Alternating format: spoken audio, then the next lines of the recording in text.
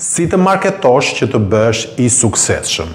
Një nga aspektet më të rëndësishme në punën tonë në Real Deal është marketingu. Ne kemi aspekt të shitjes, organizimit, menaxhimit, por një prej gjërave që na identifikon mirë në treg dhe na jep shumë vlerë është marketingu. Pra ne marketojmë shumë aty jashtë për t'u bërë të suksesshëm dhe njihemi si një nga agjensitë më agresive në tregun shqiptar. Gjithsesi marketingu nuk është vetëm për industrinë imobiliare, Është për gjitha industritë, për gjitha individët dhe do kaloj pak nga pak se për kë është marketingu. Ne do bëjmë një seri me video për të ndihmuar këdo që do ta shfaqë veten, punën e vet, punën si specialist apo si biznes aty jashtë për të tërhequr më shumë klientë. Pra, si të tërheqësh më shumë klientë, si ta reklamosh më shumë veten, si të krijosh një brand personal apo të krijosh një brand të kompanisë tënde.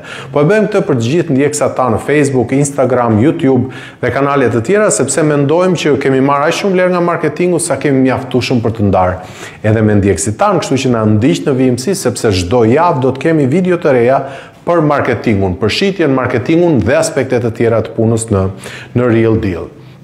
Për kë është marketingu?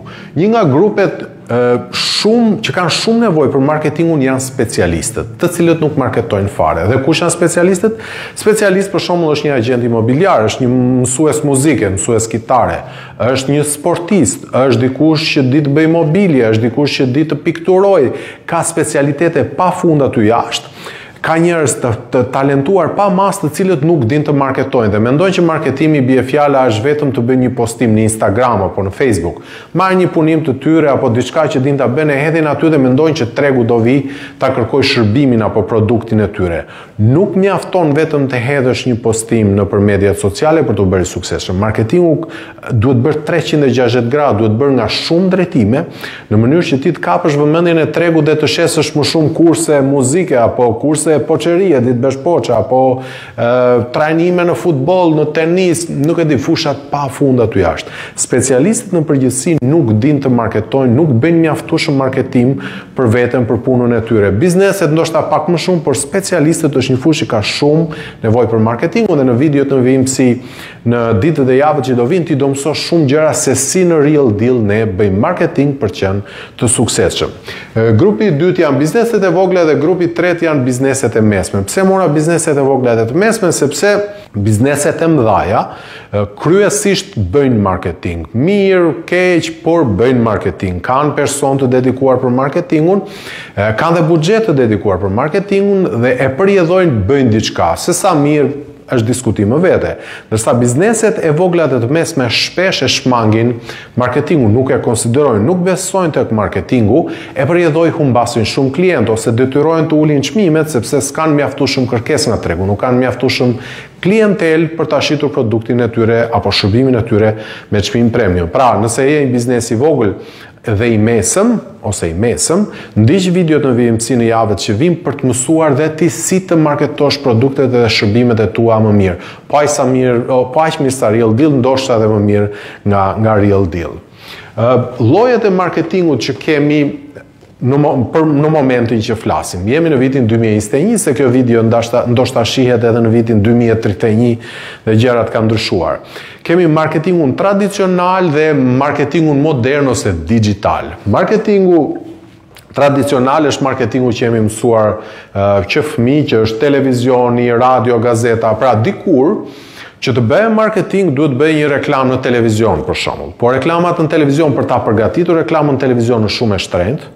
Dhe pastaj për ta bërë reklamën në televizion është përsëri shumë e shtrenjtë dhe zakonisht aty reklamojnë bizneset e mëdhaja. Ndaj dhe këto videot që do bëjmë ne në vijimësi që do janë të shumta janë kryesisht për biznesin e vogël e të mesëm, jo për të madhin. Ata janë tjetër profil, i lejojnë vetes të bëjnë një marketing që quhet brand awareness, hedhin lekë nga të gjitha anët, thërrasin unë unë unë unë jam i miri është është tjetër linjë ajo. Dhe po të shikosh në televizion janë kryesisht bizneset e mëdhaja që reklamojnë produktet dhe shërbimet e tyre. Është e shtrenjtë, është e vështirë, nuk është për ty nëse je specialist biznes i vogël i mesëm. Radio është më e lirë, po dhe radio duhet krijuar spoti, është po po ashtu e shtrenjtë, jo sa televizioni, po prap relativisht e shtrenjtë, duhet të jesh biznes i një farë niveli, pra Kesh të ardhura të një farë niveli që të që të bësh reklama në radio përndryshe nuk të premton buxheti ose do bësh një kohë të shkurtër, një periudhë të shkurtër kohe dhe nuk do bësh dot në vijimësi. Marketingu ka një sekret, ka shumë sekrete. Në fakt, po një prej tyre është që duhet të jesh konsistent. Pra nëse ti zgjedh radio bie fjala për biznesin tënd, duhet të vazhdosh për shumë kohë aty. Nuk mund të dalësh me reklamë Një javë dhe të mendosh që gjithë tregu do kujtohet për ty. Tregu na harron që të gjithëve shumë shpejt dhe duhet me qenë prezent gjithë kohën. Prandaj dhe do zgjedhur kanali i duhur, qoftë ky radio, televizion apo kanale dixhitale. Është edhe gazeta, gazeta e printuar tani sikur i ka ikur pak koha, më shumë i kemi digjitale gazetat dhe i kemi si websajte që kanë trafik portale, quhen të medias dhe aty mund të reklamosh, ato janë pak më të lira se, se radio, Dhe janë deri diku janë përshtatur me kohët e sotme të marketingut digjital, gjithsesi dhe aty duhet të bësh kreativitetin e reklamës, do kreativitet në reklamë që ta bësh mirë, edhe kostot sërisht mendoj që janë relativisht të larta përkundrejt marketimit digjital. Mund të ketë edhe kanale të tjera të tradicionalit, po unë kapa ato më kryesoret. Vim tek marketingu digjital që e hasim shumë shpesh kohët e sotme, duket si një gjë mitike, e veçantë, nuk është edhe aq veçantë. Në çdo kohë ka pasur kanale të caktuara të marketingut, Marketingu ka pas qenë fillimisht në print, pra gazetat e shkruara bardhë e zi dikur, pastaj doli radio që e, i mori treg gazetës, pastaj do, doli televizioni që i mori treg radios, tani kanë dalë mediat sociale apo marketingu digital që i kanë marrë treg televizionit dhe kështu do vazhdojë pa, pambarimisht. Pra, me kohën dhe me vitet gjithmonë dalin kanale më të tjera dhe specifika është që marketingu sa vjen edhe bëhet më i përballueshëm si kosto për këdo. Pra, specialisti, biznesi i vogël dhe i mesëm dikur nuk bënin dot reklama në televizor. Po sot mund të bëjnë reklama në mediat sociale, mund të bëjnë digital marketing. Një është e pranueshme nga ana financiare, nuk të duhen mijëra euro, mund të bësh marketing me dhjetra, qindra euro dhe prap të marrësh rezultat. Kush është marketingu digjital? Janë mediat sociale që i njohim të gjithë, Facebook, Instagram, LinkedIn, kanë dalë tani TikTok e do dalin edhe shumë brande të tjera te media sociale, por nuk duhet ngatërruar aty hedhja e një postimi me marketimin. Hedhja e një postimi është për ndonjë VIP që ka 1 milion ndjekës dhe hedh një postim natyrshëm që atij apo asaj ia shohin 1 milion veta postimin dhe këtu ka marketing, po për njeri të thjeshtë, një specialist të thjeshtë që nuk ka dhe aq shumë ndjekës në Në mediat sociale të hedhësh një postim nuk është marketing, është hobi. Pra ti e bën, po jo se do vinë shumë klientë. Ndaj, në videot e tjera do do ju themi edhe si të bëni krijimin e faqeve të të biznesit ku mund edhe të sponsorizosh reklama, targetosh njerëz të profileve të ndryshme e kështu me radhë. Pra media sociale është mbreti sot pa diskutim, do të jetë mbreti dhe për ca kohë të mira. Nuk di ta them nëse do jetë 5, 10 apo 15 vjet, sepse teknologjia avancon shumë shpejt në në kohët tona dhe është gati e pamundur të parashikosh se çfarë do ndodhë në vitet që vijnë, po disa vite duket që do jetë aty për të ekzistuar. Është email. Tani emailet do t'i prek në një video tjetër më thellë se sa kaq.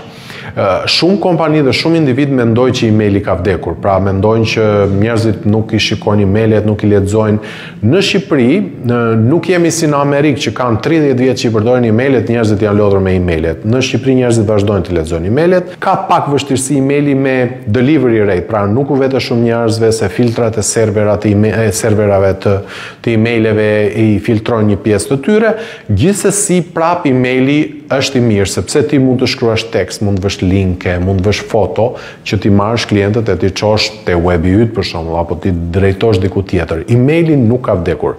Vazhdon të përdoret me sukses. Kam kam shnuar këtu në fund, në fakt duhet ta shnoja diku këtej nga fillimi Google Ads që shumë pak njerëz i përdorin Google Ads sepse janë teknikisht pak të vështira për t'u për t'u konfiguruar, por nëse i konfiguron mirë dhe i menaxhon mirë në vijimësi Google Ads, reklamat në Google janë një burim shumë i mirë marketingu klientele, se ne nuk duam të bëjmë marketing në fakt, duam klientë, por përdoret fjala marketing, ne duam klientë. Kam futur këtu dhe content creation që është kjo që po bëj unë tani. Pra, content creation mund ta bësh përmes videos, Si kjo video, në fushën tënde, çfarëdo lloj fushe të jetë ajo, mund ta bësh përmes shkrimit, nëse nuk të jepet, nuk ke prirje për të folur përpara kamerës, ke fobi, mund të përdorësh të, të shkruarin apo mund ta bësh edhe me audio.